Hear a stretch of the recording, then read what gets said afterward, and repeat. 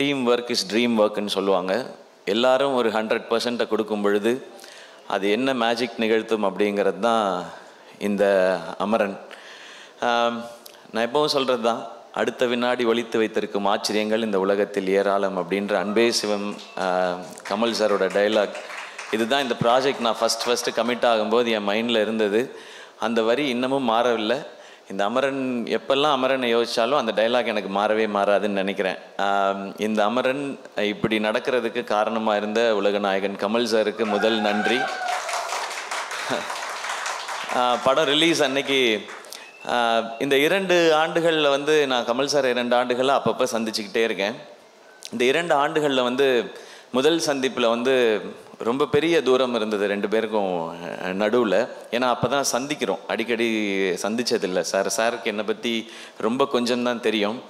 ஆனால் இப்போ அந்த அந்த டிஸ்டன்ஸ் ரொம்ப ரொம்ப கம்மியாயிடுச்சு. இப்போ ஒரு சின்ன எட்ஜ் தான். சார் ஊர்லேருந்து இருந்து சார் எனக்கு கொடுக்குற அந்த ஹக்குக்காக நான் வெயிட் பண்ணிகிட்ருக்கேன் நான். சார் ஃபோனில் பேசும்பொழுது என்கிட்ட சொன்னாங்க ரொம்ப பிரமாதமாக போயிட்டுருக்கு படம். நான் ரொம்ப ரொம்ப மகிழ்ச்சியாக இருக்கேன். நான் ரொம்ப சந்தோஷமாக இருக்கேன். அப்படின்னு எல்லார்ட்டையும் சொல்லுங்கள் நிச்சயமாக எல்லாருக்கும் புரியும் அப்படின்னு சொல்லி சொன்னாங்க. எனக்கு அப்போலேருந்து அமரன் ஒரு வெற்றி படமாக இருக்கும் அப்படின்றது இது தெரிஞ்சது தான் அது ராஜ்குமார் அவர்கள் கதை சொன்ன டைம்லேருந்து இது தெரிஞ்சது தான் ஆனால் இது ரொம்ப ஸ்பெஷல் ஃபிலிமாக மாறுங்கிறது வந்து சார் சொன்ன அந்த வார்த்தையிலேருந்து ஆரம்பிச்சது. ஏன்னா கமல் சார் பார்க்காத சக்ஸஸோ பார்க்காத ரோலோ பேர் புகழ் விருதுகள் எதுவுமே கிடையாது. இவ்வளவும் பார்த்த பிறகும் அவங்க தயாரிப்பில் ஒரு படம் வந்து என்னை நான் ரொம்ப ரொம்ப சந்தோஷமாக இருக்கேன்னு சொல்ல வைக்கிது அப்படின்னா அதை விட ஒரு ஏன்னா எங்கள் தயாரிப்பாளர் இவ்வளோ காசை நம்பி போட்டிருக்கிறாங்க. அண்ட் ரொம்ப சந்தோஷமாக இருக்குன்னு சொன்னாங்க. ஸோ அங்கே ஸ்டார்ட் ஆச்சு. Thank you so much Kamal sir நீங்கள் ஊர்லேருந்து வந்தோடனே பார்க்கறதுக்காக நான் வெயிட் பண்ணிகிட்ருக்கேன் கமல் சாருடைய கம்பெனி ஆரம்பிச்சது நல்ல திரைப்படங்கள் பண்ணணும் அப்படின்னு சொல்லி தான் அதை தொடர்ந்து எடுத்துகிட்டு போகிறது மகேந்திரன் சார். மகேந்திரன் சார் இந்த இடத்துல நான் ஒரு ரொம்ப ரொம்ப முக்கியமான விஷயம் சொல்லி நான் மென்ஷன் பண்ணணும். என்னென்னா இந்த படம் வந்து ரொம்ப பெரிய பொருட்செலவில் எடுக்கப்பட்ட படம். நீங்கள் படம் பார்த்துருப்பீங்க. ரொம்ப பெரிய பட்ஜெட் ஆனால் மகேந்திரன் சார் என்ன பண்ணாங்க அப்படின்னா இந்த படத்தை ஒரு ஏரியா கூட விற்கலை என்ன காசு வருதோ விற்றுட்டு நம்ம என்ன கிடைக்குதோ போட்டுட்டு போயிடுவோம்னு நினைக்காம இது ஏன் படம்? நான் ஏன் காசு போட்டு எடுத்திருக்கேன் தெரியுமா? இந்த கதை அப்படி இந்த டைரக்டர் அப்படி இந்த டேலண்ட் அப்படின்னு சொல்லி ஓன் பண்ணாங்க. ஒவ்வொரு செகண்ட் இந்த செகண்ட் வரைக்கும். இதுக்கப்புறம் இன்னும் இந்த படம் எத்தனை ஆண்டுகள் ஆனாலும் அமரன் சம்பந்தமாக எதுனாலும் மகேந்திரன் சார் ஓன் பண்ணுவாங்க. அது நான் ரொம்ப ரொம்ப ரசித்த விஷயம். அவங்க இப்போலேருந்து இல்லை. விஜய் டிவியில் இருந்த டைம்லேருந்து ஒரு விஜய் அவார்ட்ஸ் நடத்தணும்னா அவங்க அதுக்கு எடுத்து எப்படி வேலை பார்ப்பாங்கன்றதை நான் கண்ணு முன்னாடி பார்த்துருக்கேன். அதை இந்த அமரனுக்கும் பார்த்தேன். அவங்களுடைய ஸ்ட்ராட்டஜி அதாவது ஒரு படம் ப்ரமோஷன் பண்ணுறதுங்கிறது இல்லை விஷயம். இது என்ன மாதிரி படம்? இதை எப்படி ப்ரமோட் பண்ணணும்? யார்கிட்ட கொண்டு போய் எப்படி சேர்க்கணுங்கிறது இது மொத்தமாக ஓன் பண்ணிக்கிட்டாங்க. எப்போ நம்ம நடித்த படம் நமக்கு நெருக்கமாக இருக்கும். ப்ரொடியூசர்ஸ் வியாபாரம் மட்டுமே பார்ப்பாங்க. அவங்க இதை வியாபாரமாக பார்க்கல. இது ஒரு பேஷனாக எடுத்து பண்ணாங்க. அதுக்கும் தான் இந்த வெற்றி கிடச்சிருக்குன்னு நினைக்கிறேன். Thank you so much Mahendran sir அவங்க இங்கே ஸ்டேஜுக்கு வர மாட்டாங்க. நான் என் இடத்துக்கு போகிறேன்னு சொல்லி எங்கேயோ ஒரு லாஸ்ட் ரோக்கு போகிறேன்னு சொல்லி சொல்லிட்டாங்க. Thank you so much sir நீங்கள் லாஸ்ட் ரோலேருந்து இவ்வளோ வேலையும் பார்த்து எங்களை ஃப்ரண்ட் ரோல் இப்படி மேடையில் நிற்க வச்சதுக்கு thank you so much Mahendran sir and எங்கள் உசிலம்பட்டிக்காரர் டிஸ்னி அவர்கள் அவரும் இந்த பக்கம் வர மாட்டார் நேரம் ஓடி இருப்பார். அவர் வந்து இந்த படம் ஆரம்பிக்கும் பொழுது எக்ஸிக்யூட்டிவ் ப்ரொடியூசராக இருந்தார். இந்த படத்துக்காக எல்லா வேலைகளையும் சிறப்பாக செய்து இந்த படத்தோட நீங்கள் படம் ஃபஸ்ட்டு கிரெடிட்ஸில் பார்த்தீங்கன்னா இணை தயாரிப்பு டிஸ்னின்னு இருக்கும். ஸோ அந்த ப்ரமோஷன் இந்த படத்தில் அவர் நிகழ்ந்தது காரணம் அவருடைய உழைப்பு தான். டிஸ்னினா வாழ்த்துக்கள். அண்ட் சோனி பிக்சர்ஸ் அவங்களுக்கு என்னுடைய நன்றி. டிஸ்னினா உங்களுக்கு வாழ்த்து மட்டும் சொல்லிவிட்டு உங்களுக்கு தேங்க்ஸ் சொல்லணுன்னு பட் ஸ்பெஷலாக இன்னொரு தேங்க்ஸும் சொல்லணும். அதை நான் நேரில் மீட் பண்ணும்போது சொல்கிறேன் அண்ட் சோனி பிக்சர்ஸ் அதில் இருக்க டீம் எல்லாருக்கும் அவங்க தான் அதை ஸ்டார்ட் பண்ணி வச்சாங்க. அண்ட் வேக்கி நண்பர் வேக்கி அவருக்கும் தேங்க்ஸ் அவர் அவர் மும்பையில் இருக்கார். அங்கேருந்து மெசேஜ் போட்டே இருக்கார்.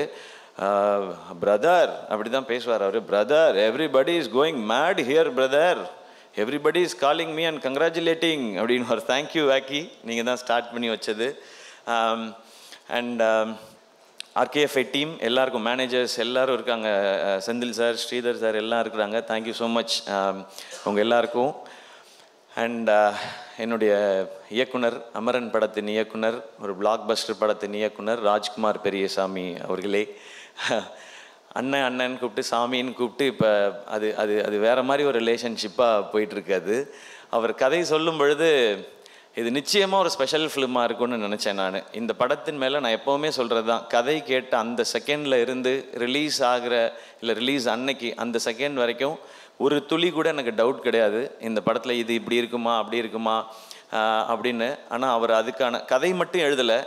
இந்த கதைக்கான ரிசர்ச் ஒரு வருஷம் போச்சு. இந்த கதையை எப்படி எடுக்கணும்னு சொல்லி அதுக்குள்ளே இதில் கேரக்டர்ஸ் எப்படி இருக்கணும் ஹீரோ எப்படி இருக்கணும் அனைத்தையும் ப்ரிப்பேர் பண்ணி அவர் வந்துட்டார். அவர் ரொம்ப கிளியராக இருந்ததுனால எனக்கு வந்து என் வேலை வந்து ரொம்ப சுலபமாக இருந்தது. ஃபிசிக்கல் ட்ரைனிங் மட்டும்தான் பண்ண வேண்டியதாக இருந்தது. அதுவும் எனக்கு ஒன்றும் கஷ்டமாக இல்லை. அதுவும் நல்லா இருந்தது. அதுக்கும் ஆள் அவரே பிடிச்சி கொடுத்தாரு. அண்ட் ராஜ்குமார் பெரியசாமி.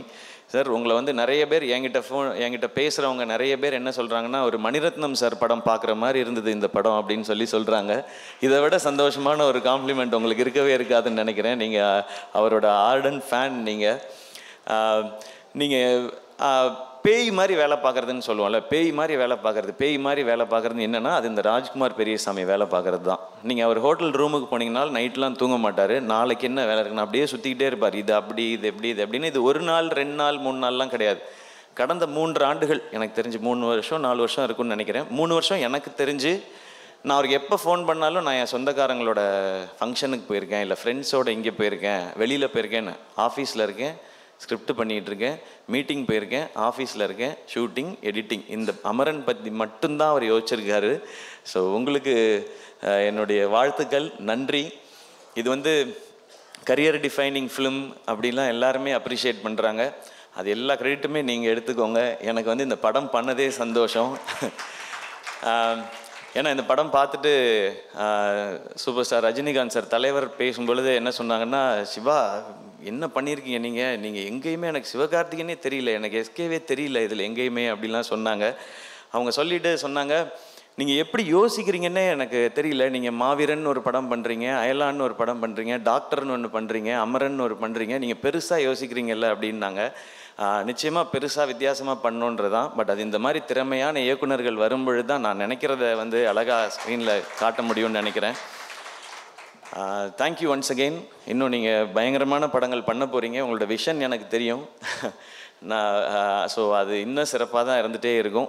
இப்போ உங்களுக்கு என்ன கிடைக்குதோ அது உங்களுடைய உழைப்புக்கு ஆக்சுவலாக கம்மி. இன்னும் நிறையா இருக்குது அண்ட் சாய் பல்லவி. ஒரு ஃபென்டாஸ்டிக் ஆக்ட்ரஸ் அதெல்லாம் சொல்லவே தேவையில்லை. அவங்க இந்த ரோல் பண்ணுறாங்கன்னு தெரிஞ்ச உடனே நான் ஆரம்பத்தில் சொன்னது தான் நான் வந்து எனக்கு சூப்பர் அந்த ரோல் டன் ஏன் அப்படின்னா நம்ம என்ன ஃபிசிக் நம்மளோட ஃபிசிக்கலாக மென்டலாக என்ன உழைப்பு இந்த கேரக்டருக்கு நம்ம மேஜர் ரோல் போட்டாலும் அந்த லாஸ்ட் டென் மினிட்ஸை ஹோல்டு பண்ணுறதுக்கு ஒரு ஃபென்டாஸ்டிக் பெர்ஃபார்மர் வேணும்.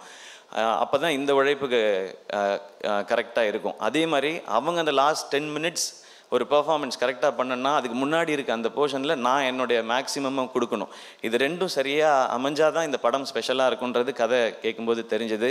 இப்போ எல்லாரும் உங்கள் ரெண்டு பேர் நீங்கள் ரெண்டு பேருமே ரொம்ப ரியலாக இருந்தீங்க ஸ்க்ரீனில் அப்படின்னு சொல்லி சொல்கிறாங்க கெமிஸ்ட்ரி சூப்பராக இருந்ததுன்னு சொல்கிறாங்க இதில் என்ன பியூட்டினா நீங்கள் படத்தில் பார்த்தீங்கன்னா குழந்தைகள் பார்க்க முடியாத மாதிரியோ இல்லை ரொம்ப நெருக்கமான காட்சிகளோ இந்த படத்தில் கிடையவே கிடையாது. ஸ்டில் எல்லாரும் அந்த கெமிஸ்ட்ரியை ஃபீல் பண்ணுறாங்க அது வந்து அவங்க அந்த இடத்துல அந்த ஒரு ரோல் பண்ணது ஒரு மிக முக்கியமான காரணம்னு நினைக்கிறேன். அண்ட் சாய் பல்லவி வந்து எப்போவுமே ஒரு ஃபென்டாஸ்டிக் பர்ஃபார்மர் நிறைய மெமரபிள் லோ ரோல்ஸ் பண்ணியிருக்கிறாங்க. பட் அப்படி ஒரு பெர்ஃபார்மருக்கு இந்த மாதிரி கமர்ஷியல் சக்ஸஸும் ரொம்ப ரொம்ப முக்கியம். அதில் தமிழில் முக்கியமாக அவங்களோட ஃபஸ்ட்டு பிக்கஸ்ட் கமர்ஷியல் சக்ஸஸ் இந்த அமரனில் அமைஞ்சது எனக்கு ரொம்ப ரொம்ப மகிழ்ச்சி. அவார்ட் நிறைய அவங்க வச்சுருக்குறாங்க. ரெண்டு ஃபிலி ரெண்டு ஃபிலிம்ஃபேர் அவார்ட்லாம் இப்படி வச்சு ஃபோட்டோலாம் நான் பார்த்தேன். இன்னும் நிறைய அவார்ட்ஸ் வரும். கூட இந்த மாதிரி நிறைய கலெக்ஷன்ஸ் வரும். அடுத்து நீங்கள் சோலோவாக பண்ணுற படங்களை இன்னும் பிரம்மாண்டமான கலெக்ஷன்ஸ் பண்ணும். அதெல்லாம் நிச்சயமாக நடக்கும். நடக்கணும்னு எனக்கு ஆசை. அப்படிப்பட்ட பெர்ஃபார்மர் நீங்கள் உங்களோட ஒர்க் பண்ணது சந்தோஷம். நான் ஆடியோ லான்ச்சில் சொன்னேன் இல்லையா பிரேமமில் மலர் டீச்சர் வந்து ரொம்ப பிடிச்சிது. இந்த படம் அந்த மலர் டீச்சரை ஒன் ஸ்டெப் தாண்டிருச்சு. அது என் படத்தில் நடந்துருச்சுன்றது எனக்கு ரொம்ப ரொம்ப மகிழ்ச்சி. அந்த அந்த ரோலை நான் எதுவும் தப்பாக சொல்ல மலர் டீச்சரும் சூப்பர் தான். அதை விட ஒன் ஸ்டெப் ஹையராக எனக்கு இந்துரே பேக்கா ரோல் பிடிச்சிருக்கு. And uh, Rajeevan sir uh, Rajeevan சார்ட்ட இப்போ தான் சொல்லிட்டு இருந்தேன். நான் காலேஜ் படிக்கும் பொழுது நான் ஒரு படம் டைரக்ட் பண்ணணும்னு நினச்சி டைட்டில்லாம் வச்சு எழுதுவேன். நானே ஒரு போஸ்டர் டிசைன்லாம் பண்ணுவேன். அந்த போஸ்டர் டிசைன் பண்ணும்போது நானே டைரக்டர்னு போட்டு என் பேர் போட்டு கீழே வந்து மியூசிக் இசை ஹாரிஸ் ஜெயராஜ். ஏன்னா எனக்கு கௌதம் மேனன் சாரோட டீம் அப்படியே பிடிக்கும் எனக்கு. கலை இயக்குனர் ராஜீவன் அப்படிலாம் நான் எழுதுவேன் நான். எழுதி ஒளிப்பதிவு ஆர்டி ராஜசேகர் இப்படிலாம் எழுதுவேன் நான். இன்னைக்கு அவரோட ஒர்க் பண்ணது எனக்கு ரொம்ப ரொம்ப சந்தோஷம். காலேஜில் அதெல்லாம் நான் நினச்சி நான் எழுதலை சார் பட் இது நடந்துருச்சு. நான் ஒரு ஆடியோ லான்ச்சை ஹோஸ்ட் பண்ணும்பொழுது சாரை வந்து பேசுகிறது கூப்பிட்டேன். ஃபஸ்ட் ஃபஸ்ட்டு வாகைஸோட ஆடியோ லான்ச்னு நினைக்கிறேன். நெக்ஸ்ட் வந்து இந்த மாதிரிலாம் சொல்லி பயங்கரமான ஒரு கலை இயக்குனர் அவர் இவர் வந்து பேசுவார் அப்படின்னு சொல்லிட்டு இப்படி போனேன். விஜய் பிரதர் மாதிரி இப்படி போனேன். வந்துட்டு தேங்க்யூ அப்படின்ட்டு போயிட்டாரு. சார் இதை நீங்கள் மெசேஜ்லேயே அமைச்சிருக்கலாமே சார்னு சொன்னேன். ஒரு மனிதன் மாறவே இல்லைன்னு சொல்லுவாங்கல்ல அதுக்கு அவர் வந்து ஒரு உதாரணம்னு நினைக்கிறேன். அவர் டீமில் அவர் மாதிரியே ஒரு ஆர்ட் டைரக்டர் வச்சுருக்காரு. அவரும் எதுவுமே பட் ஒர்க் வந்து பயங்கரமாக இருக்கும். சேகர் சார் உங்களுக்கும் என்னுடைய வாழ்த்துக்கள். நன்றி. அண்ட் கலை அவர் வந்து ரெமோலெல்லாம் ஒர்க் பண்ணியிருக்காரு. ரூபனோட அசிஸ்டண்ட்டாக ஒர்க் பண்ணவர். இந்த படத்தில் வந்த எல்லா கட்ஸும் ஃபஸ்ட்டு டீசராக இருக்கட்டும் இல்லை சாய் பல்லவியோட இன்ட்ரோவாக இருக்கட்டும் இல்லை ட்ரெய்லராக இருக்கட்டும் அந்த கட்ஸ் எல்லாமே எக்ஸ்ட்ராடினரி இதெல்லாம் படத்தோட ஆஹ், எதிர்பார்ப்புகளை அதிகப்படுத்திக்கிட்டே இருந்ததுக்கு ஒரு முக்கியமான tool thank you Kalai and best wishes and Sai DOP first film நாங்கள் சாரை சூப்பர் ஸ்டார் சாரை பார்க்கும்பொழுது ரஜினி சாரை பார்க்கும்போது எல்லாரையும் இன்ட்ரடியூஸ் பண்ண இவர் தான் டேரக்டர் அப்படின்னா வாங்க ஃபஸ்ட் டைம் பார்க்குறேன் அப்படின்னாங்க. சாயை வந்து இன்ட்ரடியூஸ் பண்ணோம். இவர் தான் சார் படத்தோட கேமராமேன் ஒன்று நீங்கள் தான் கேமராமேனா இந்த படத்துக்கு நீங்கள் தான் கேமராமேனா அப்படின்னு கேட்டாங்க. ஆமாம் சார் வாங்க வாங்க உள்ளே வாங்க அப்படின்னு கூட்டு போய் உங்களுக்கு என்ன வயசு? இது எத்தனாவது படம்னு கேட்டாங்க. இதான் ஃபஸ்ட்டு படம்னு எனக்கு ரொம்ப ஆச்சரியமாக இருக்கே அப்படின்னு சொல்லி சொன்னாங்க. பட் சாய் வந்து இப்போ சிரிச்சிட்டு இருக்க மாதிரி தான் ஷூட்டிங்லேயும் நிறைய பேருக்கு இந்த ஷூட்டிங்கில் வந்து கண்ணா பின்னான்னு அடிபட்டு ரத்தம்லாம் ஊற்றிருக்கு அதில் சாய்க்கும் உண்டு. ஏன்னா நிறைய ஹேண்டில் ஷாட்ஸ் உண்டு. இன்டர்வல் பிளாக் எடுக்கும்பொழுது கேமரா தூக்கிட்டு என் முன்னாடி ஓடிட்டு இருந்தார். அப்படியே டமால்னு விழுந்தார் ஒரு நாலு பேர் ஷூட்டிங்கில் வேக வேகமாக ஓடி வந்து கேமராக்கு என்னாச்சுன்னு பார்த்தாங்க. நான் மட்டும்தான் போய் சாய்க்கு என்னாச்சுன்னு பார்த்தேன் நான் ஃபஸ்ட்டு கேமரா அப்புறம் வாங்கிக்கலாம் பிரச்சனை இல்லைன்னு சொல்லி. பட் எனக்கு ஒன்றும் இல்லை ஒன்றும் இல்லை அப்படின்னு சொல்லிட்டு ஷாட் எடுக்க ஆரம்பிச்சிட்டாப்புல. ஒரு ஆஃப் அன் ஹவர் கழிச்சு பார்த்தா பேண்ட் ஃபுல்லாக ரெட்டாக இருந்தது ரத்தமாக இருந்தது அது. பட் அதை பற்றி வரி பண்ணாமல் ஷூட் பண்ணார். ஆனால் இதே சிரிப்பு தான் இதே ஸ்மைல் தான். இந்த சந்தோஷம் மகிழ்ச்சி உங்களுக்கு இருந்துகிட்டே இருக்கட்டும் சாய். அண்ட் uh, அடுத்து நான் முருதா சாருக்கு அப்புறம் ஒரு படம் பண்ண போகிறேன் அந்த படத்துலையும் சாய் தான் டிஓபியாக பண்ணுறாரு ஸோ வெரி ஹாப்பி சாய் உங்களோட ஒர்க் பண்ணுறது அண்ட் ஜிவி பிரகாஷ் குமார் என்னோட ரொம்ப வருட நண்பர். ஆனால் படம் பண்ணுறதுக்கான வாய்ப்பு இப்போ தான் அமைஞ்சுது. அது இந்த அமரனுக்காக தான் இத்தனை வருஷம் வெயிட் பண்ணியிருக்குன்னு நினைக்கிறேன். மியூசிக்கில் வந்து ஜிவி வந்து ஏற்று ஏற்றுன்னு ஏற்றுனான்னு சொல்லி எல்லாருமே சொன்னாங்க. Thanks for the songs thanks for the BGM அந்த பிஜிஎம் வந்து ரொம்ப ஸ்பெஷலாக இருக்கும்னு நினைக்கிறேன். இனி சாய் பல்லவியோட இன்ட்ரோ பிஜிஎம்மாக இருக்கட்டும் அதெல்லாம் ரிங் டோன் ஆகிடுச்சு இனி எங்கே ஒரு மாஸ் பிஜிஎம் போடணும்னா அந்த இன்டர்வல் பிஜிஎம் போடுவாங்கன்னு நினைக்கிறேன். ஸோ ஜிவிக்கு ரொம்ப ரொம்ப நன்றி. படத்தில் நடித்த புவன் அரோரா ராகுல் Bose and uh, Raju sir uh, Geetha Kailasam ma'am Shama Prasad sir and Sham மோகன் அண்ட் படத்தில் நடித்த எல்லாருக்கும் எங்களுடைய நன்றி. உங்களுடைய கான்ட்ரிபியூஷன் வந்து ரொம்ப ஸ்பெஷல் ஸ்டெஃபான் ரெக்டர் uh, அவர் ஒரு ஒரு ஃபாரின்லேருந்து வந்தவர் தான். அவர் நிறையா ஸ்டண்ட்ஸ் வந்து டிசைன் பண்ணார். அவர் அவரும் கடுமையாக இது சூப்பராக இந்த ஃபைட் சீக்வன்ஸ் ரொம்ப ரியலிஸ்டிக்காக ஆக்குனது ஸ்டெஃபான் ரெக்டர் தான். அவர்கிட்ட வந்து ஒரு நாள் பேசிட்டு இருக்கும்போது எங்கள் எங்கள் இதெல்லாம் வார்த்தைகள்லாம் உங்களுக்கு சொல்லி கொடுத்தாங்களா? நீங்கள் கற்றுக்கிட்டீங்களான்னு கேட்டேன். அவரும் கற்றுக்கிட்டேன்னு சொல்லி அவர் எல்லா வார்த்தையும் சொல்லி காமிச்சார். அவர்கிட்ட எல்லாம் சொல்லுங்கள் முன்னாடி பின்னாடி தற்குறி அப்படின்னார். தற்குறியா? தற்குறி is good word writer no it's not good word அப்படின்னு சொல்லி அதெல்லாம் அவருக்கு சொல்லி கொடுத்து அவர் ஷூட்டிங்கில் ஃபுல்லாக போகலாம் போகலாம் எல்லாரும் போகலாம் எல்லாரும் போகலாம் அப்படின்னு சொல்லிகிட்டே இருப்பார் அவர். So Stefan Richter thank you so much உங்களோட ஒரு ஒரு it was it was really really amazing to work with you and Anbariv Anbariv வந்து என்னோட நிறையா படங்கள் ஒர்க் பண்ணியிருக்காங்க. இந்த படம் வந்து ராஜ்குமார் அவருக்காகவும் ஆர்கேஎஃப்ஐக்காகவும் இந்த படத்துக்காகவும் வந்து வேலை செஞ்சாங்க. அவங்க ஃபஸ்ட்டு சொன்னது என்னென்னா இந்த படத்தில் என் பேர்லாம் இல்லைன்னா கூட எனக்கு பிரச்சனை இல்லை. இந்த படத்தில் நாங்கள் ஒர்க் பண்ணணும் அப்படின்னு சொன்னாங்க. Thank you Anbariv masters and படத்தோட டிசைனர் கோபி பிரசன்னா அப்புறம் அவருக்கு ரொம்ப தேங்க்ஸ் இந்த போஸ்டர்ஸ் எல்லாம் ரொம்ப ஸ்பெஷலாக வந்துட்டே இருக்கு. இங்கே பார்க்குற எல்லாமே அவருடைய ஒர்க் தான். Thank you so much Gopi. வேறு யாரையும் நான் மிஸ் பண்ணலன்னு நினைக்கிறேன்.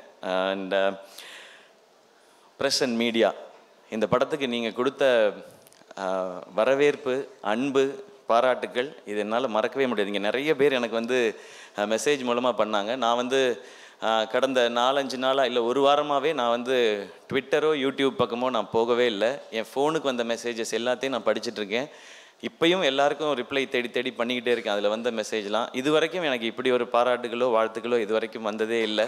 அதிலே நான் உணர்ந்துட்டேன். இது எந்த மாதிரியான ஒரு வேலை வந்து எனக்கு வந்து வாய்ப்பு வந்து எனக்கு கிடைச்சிருக்கு எல்லாரையும் சந்தோஷப்படுத்துறதுக்கு இல்லை ஒரு ஒரு ஒர்க்கை காட்டுறதுக்குன்னு சொல்லி என்னை விஷ் பண்ண அத்தனை பேருக்கும் ரெசன் மீடியா அண்ட் படத்தை பற்றி நல்லா எழுதி இந்த படத்தை மக்கள்கிட்ட இன்னும் கொண்டு போய் சேர்த்தவங்க எல்லாருக்கும் பெரிய பெரிய நன்றி. அதே மாதிரி மக்கள் தமிழக மக்கள் எல்லாருக்கும் ரொம்ப ரொம்ப பெரிய நன்றி. இது வந்து எங்கள் படம் அப்படின்னு நாங்கள் சொல்லிக்கிட்டே இருந்தோம். படம் ரிலீஸ் ஆனதுக்கப்புறம் நீங்கள் எடுத்து அதை வாரி அணைச்சிக்கிட்டீங்க. உங்களுக்குள்ளேயே படம் சூப்பராக இருக்குன்னு சொல்லி நீங்கள் உங்கள் ஃப்ரெண்ட்ஸுக்கெல்லாம் ரெக்கமெண்ட் பண்ண ஆரம்பிச்சிங்க. ஸோ அத்தனை பேருக்கும் இது எல்லா ஏஜ் குரூப்பில் இருக்கிறவங்களும் வந்து தேட்டரில் போய் பார்த்து இந்த படத்தை கொண்டாடி தள்ளிட்டீங்க. அதுக்கு வந்து ரொம்ப ரொம்ப நன்றி. இதுக்கு இன்னும் சின்சியராக இருப்பேன் நிச்சயமாக இது வந்து ஒரு பெரிய பெரிய விஷயத்த வந்து நீங்கள் கொடுத்துருக்கீங்க. ரொம்ப ரொம்ப நன்றி தமிழக மக்கள் எல்லாருக்கும். இந்த படம் இங்கே மட்டும் இல்லாமல் ஆந்திரா தெலங்கானா கேரளா கர்நாடகா அண்ட் ஓவர்சீஸில் இருக்கிற எல்லா ஊர்கள்லேயும் மக்கள் வந்து பெரிய ஆதரவு கொடுத்துட்ருக்காங்க. இங்கே வந்து பெரிய நம்பர்ஸ் சொல்கிறாங்க நூறு நூற்றி ஐம்பது கோடி தாண்டிருச்சு. இது வந்து இன்னும் இவ்வளோ பண்ணுன்றது. வசூல் முக்கியம். ஏன்னா ப்ரொடியூசர் வந்து இவ்வளோ பெரிய பட்ஜெட் போட்டு எடுக்கிறாங்க. அப்போ அந்த வசூல் வந்தால் தான் இந்த மாதிரி படங்கள் எடுக்கணும்னு தயாரிப்பாளருக்கு தோணும். பட் அதை தாண்டி நான் இந்த வசூல் முக்கியம்னு நினைக்கிறது இன்னும் எனக்கு பட்ஜெட் கொஞ்சம் நிறையா கிடைக்கும். இன்னும் பெரிய படங்களை வந்து மக்களுக்கு கொடுக்கணும் அப்படின்றது தான் நம்ம தமிழ் சினிமாலேருந்து எவ்வளவு நாடுகளில் எவ்வளோ ஊர்களில் நம்ம படத்தை பார்க்க வைக்க முடியுமோ அப்படியான படங்களை கொடுக்கணுன்றது தான். அதுக்காக மட்டுமே இந்த வசூலை நான் பார்க்கணுன்னு நினைக்கிறேன். இந்த வசூல் வந்து நான் இந்த படத்தை தாண்டிட்டேன் அந்த படத்தை தாண்டிட்டோன்னு சொல்கிறதுக்காக நான் ஒரு நாளும் அதை மைண்டில் எடுத்துக்க மாட்டேன். எனக்கு இன்னும் நிறையா பட்ஜெட் வேணும். ஏன்னா நான் இன்னும் பெரிய கதைகள் சொல்லணும்னு நினைக்கிறேன். இதுக்கு முன்னாடி நான் பண்ண அத்தனை என்டர்டெய்னிங் கமர்ஷியல் ஃபிலிம்ஸ்க்கும் அந்த டீமுக்கும் நான் தேங்க்ஸ் சொல்லணும். ஏன்னா அவங்க கொடுத்தது தான் இந்த மார்க்கெட் அந்த மார்க்கெட்னால தான் இப்படி ஒரு அமரன் மாதிரியான ஒரு சிறப்பான படத்தை என்னால் கொடுக்க முடிஞ்சுது. இது கமர்ஷியல் சக்ஸஸ் ரொம்ப ரொம்ப முக்கியம். இது மாதிரி இன்னும் நிறையா படம் வரும். நான் நிச்சயமாக அந்த முயற்சி செய்துகிட்டே இருப்பேன். இதை விட இன்னும் பெரிய படம். இதளவுக்கு சூப்பர் படமான்றது அது அமையும் போது நீங்கள் தான் சொல்லணும். ஆனால் இதை விட இன்னும் பெரிய படம் நிச்சயமாக பண்ணுவேன். அதுக்கான ஸ்கோப் இப்போ எனக்கு கண்ணு முன்னாடி தெரியுது. தமிழ் சினிமா எனக்கு கொடுத்துருக்க இந்த வாய்ப்பு இந்த இடம் இதுக்கு நான் நிச்சயமாக உண்மையாக இருப்பேன். இன்னும் மரியாதை செய்வேன். தமிழ் மக்களுக்கும் நான் எப்போவும் உண்மையாக இருப்பேன்றதை இந்த இடத்துல நான் சொல்லிக்கிறேன். இந்த படத்தில் எல்லாரும் சொன்னாங்க இந்த ஒரு பாயிண்ட் மட்டும் சொல்லிட்டு நான் போய்ட்றேன். இதுக்கு மட்டும் நீங்கள் கொஞ்சம் டைம் கொடுக்கணும். இந்த படத்தில் நான் வந்து எஸ்கேவாகவே தெரியல அப்படின்னு சொல்லி எல்லாருமே சொன்னாங்க. அண்ட் எப்படி இதை பெர்ஃபார்ம் பண்ணீங்கன்னு எல்லாருமே கேட்டாங்க. நீங்கள் எல்லாருமே முகுந்த் வரதராஜன் அவர்களுடைய கதையை கேள்விப்பட்டீங்க. ஆ ஃபஸ்ட்டு அவங்களுடைய ஃபேமிலிக்கு நான் தேங்க்ஸ் சொல்லிடுறேன். முகுந்த் வரதராஜன் அவர்களுடைய ஃபேமிலி எல்லாருக்கும் ரொம்ப பெரிய நன்றி. இதை எடுக்கிறதுக்கு அலோவ் பண்ணதுனால தான் இப்படி ஒரு படம் இப்படி ஒரு வாய்ப்பு எனக்கு. இந்த பாராட்டுகள் வாழ்த்துக்கள் எல்லாமே. இந்த முகுந்த் வரதராஜன் அவர்களை பற்றி நமக்கு எல்லாருக்கும் நியூஸில் தெரியும். ஆனால் நான் என் வீட்டில் பார்த்த ஒருத்தர் இருக்கிறார். என்னுடைய அப்பா. அவர் பேர் ஜி தாஸ். ஒரு ஜெயில் சூப்பரண்டாக இருந்தவர். யூனிஃபார்மில் ஸ்ட்ரிக்டாக எப்பவும் நேர்மையாக இருக்கணும்னு நினைக்கிறவர். சிறைத்துறையில் வந்து நீங்கள் அவரை பற்றி கேட்டிங்கன்னா நிச்சயமாக சொல்லுவாங்க. அவரை பற்றி நான் இப்போவும் கேள்விப்பட்டுட்ருக்கேன் நிறையா பேர் கைதிகள்கிட்ட கூட அன்பாக இருப்பாங்கன்னு சொல்லி. வேலையில் ரொம்ப சின்சியர் அவருக்கு வேலை தான் ரொம்ப பிடிக்கும். நான் எங்கள் அப்பாவை ஒரு நாளுமே வந்து உடம்பு சரியில்லைனோ இல்லை லீவ் எடுத்துட்டாருனோ அப்படின்னு நான் பார்த்ததே கிடையாது. அவர் தான் எனக்கு மிக மிக முக்கியமான காரணம். இந்த படத்தை நான் எப்படியாவது பண்ணிடணும் அப்படின்னு. ஏன்னா கடந்த இருபத்தி ஒரு வருடங்களாக அவருடைய நினைவுகளோடு மட்டுமே வாழ்ந்துட்டுருக்கேன் நான். அவரை திரும்ப எனக்கு வந்து அவரை நான் பார்க்கறதுக்கு ஒரு வாய்ப்பு அவராக நான் இருக்கிறதுக்கு ஒரு வாய்ப்பு எனக்கு இந்த படத்தில் கிடைச்சிது. அதுக்கும் நான் இந்த என்டையர் டீமுக்கும் ராஜ்குமார் அவர்களுக்கும் நன்றி சொல்லணும்னு நினைக்கிறேன். அவர் யூனிஃபார்மில் அப்படி இருப்பார் பயங்கரமாக இருப்பார். எனக்கு எனக்கு ஃபஸ்ட்டு ஹீரோ அவர் தான் டெய்லி அந்த யூனிஃபார்மில் பேட்ஜ் மாட்டுவேன் நான் ஷூ எல்லாம் பாலிஷ் போட்டு வைப்பேன். எல்லாத்தையும் ரெடி பண்ணி வைப்பேன். அப்போ அதை போட்டோன்னே அந்த பெல்ட்லாம் நான் மாட்டி விடுவேன் நான். அவர் போயிட்டு வருவார் அவருக்கு சல்யூட் அடிப்பாங்க. ஸோ அவரை பார்த்தா எனக்கு இது எல்லாமே எனக்கு இது இது எல்லாமே தோணுது. நான் அவர் மாதிரி இந்த படத்தில் இருக்கணும்னு நினச்சது தான் ஒவ்வொரு காட்சியிலையும். ஏன்னா முகுந்த் சாருக்கும் அவருக்கும் நிறையா சிமிலாரிட்டிஸ் உண்டு. அவர் அவங்களோட சபார்டினேட்ஸோட ரொம்ப க்ளோஸாக இருப்பாங்க. இப்பயும் வீட்டுக்கு வந்து அப்பா இறந்து இருபத்தி ஒரு வருஷம் ஆகுது. இன்னமும் வீட்டுக்கு வந்து அம்மாட்ட வந்து விஷஸ் வாங்கிட்டு போவாங்க. அவர்கிட்ட நாங்கள் ஒர்க் பண்ணோம். அவரால் தான் நான் இந்த ஒர்க்கில் இருக்கேன்னு சொல்லி. அது மாதிரி நிறையா குணாதிசயங்கள் வந்து மு முகுந்த் சாருக்கும் எங்கள் அப்பாவுக்கும் நிறையா ஒத்து போச்சு. அதுதான் என்னை நைட்டு ஃபுல்லாக தூங்க விடாமல் பண்ணது. அதெல்லாம் தாண்டி இந்த கிளைமேக்ஸ் இந்த கிளைமேக்ஸ் நீங்கள் படம் பார்த்தவங்களுக்கு தெரியும். அவருக்கு வந்து அடிபட்டுரும். ஆம்புலன்ஸில் கூட்டிகிட்டு போவாங்க. கூட்டிகிட்டு போன அப்புறம் ஃபோனில் வந்து தகவல் வரும். ஃபேமிலிக்கு எல்லாருக்கும். எக்ஸாக்டாக என் வாழ்க்கையிலையும் எங்கள் அப்பா வாழ்க்கையிலையும் நடந்தது அதுதான். அவர் வந்து காலையில் எட்டு மணிக்கு எனக்கு ஃபோனில் வந்து தம்பி நான் லீவ் எடுத்திருக்கேன்டா. ரெண்டு நாளில் வெட்டிங் டே அவருக்கு. நான் லீவ் எடுத்திருக்கேன்டா. அப்பா கோயம்புத்தூரில் வேலை பார்த்தாங்க. நாங்கள் திருச்சியில் இருந்தோம். லீவ் எடுத்திருக்கேன்டா. நான் வந்துடுறேன்டான்னு நாங்கள் எட்டு மணிக்கு. நான் காலேஜ் போயிட்டு வான்னு சொன்னாங்க. நான் காலேஜ் போயிட்டு வந்தேன். வீடு ஃபுல்லாக ஒரே கூட்டம். எனக்கு புரியல. நான் உள்ளே போனேன் அம்மா தரையில் உட்காந்துருந்தாங்க உள்ள அக்கா வந்து ஒரு பக்கம் அழுதுட்டு இருந்தா அக்காட்ட போனேன் தம்பி அப்பா இப்படி பண்ணிட்டாங்கடான்னு சொன்னான் எனக்கு அந்த செகண்ட்ல இருந்து என் வாழ்க்கையும் நானும் மாறிட்டோம். நிறைய பேர் இந்த வழியை அனுபவிச்சிருப்பீங்கன்னு நினைக்கிறேன். அது வரைக்கும் நான் ரொம்ப கான்ஃபிடென்ட்டான ஒரு ஆள். எனக்கு லைஃப்பில் எல்லாமே வந்து பாசிட்டிவாக தெரியும். ஏன்னா அப்பா எல்லாத்தையும் பார்த்துப்பாங்கன்றது. அந்த செகண்ட் எனக்கு லைஃப்பில் என்ன ஆக போகுதுன்றது தெரியல. அதுக்கப்புறம் அப்பா வரல. ஊருக்கு வந்துட்டோம். ஊருக்கு வந்த பிறகு ஆம்புலன்ஸில் வந்தாங்க. ஆம்புலன்ஸில் எட்டி எட்டி எட்டி எட்டி பார்த்துட்ருக்கேன். என்னால் பார்க்க முடியல. அப்புறமா ஒரு ஐஸ் பாக்ஸில் கொண்டு வந்து வச்சாங்க. அதே மாதிரி இந்த படத்தில் இருந்த மாதிரியே அது ஃபோன் வந்து ஒரு டிஸ்டன்ஸில் இருந்து அப்புறம் கிட்ட பார்த்து அன்றைக்கி நான் பயங்கரமாக அழுதேன். அழுததோடு இல்லை.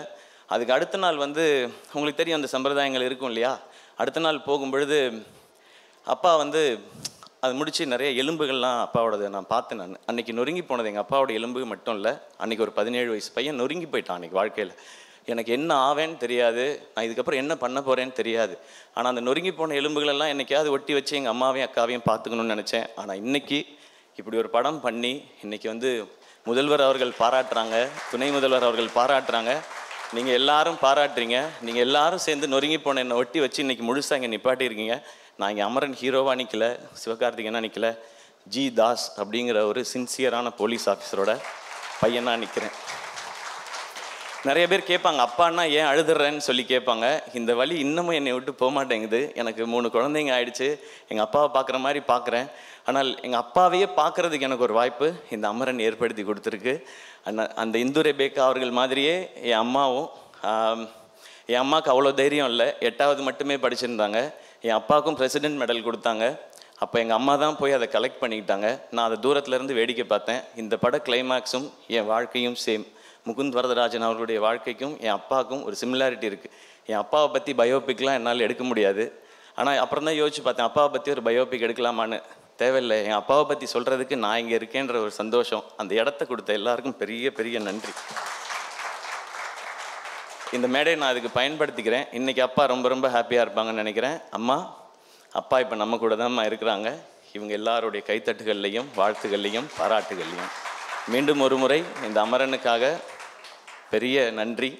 இன்னும் சிறப்பான படங்களை தொடர்ந்து கொடுக்க முயற்சி செஞ்சுட்டே இருப்பேன். Thank you love you all